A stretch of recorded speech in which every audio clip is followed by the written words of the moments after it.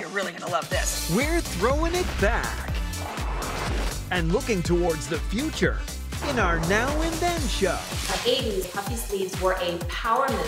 Fashion finds through the years and how you can rock them now. It's a really versatile look. Then, after decades of food fads, you'll be bowled over by the latest trend.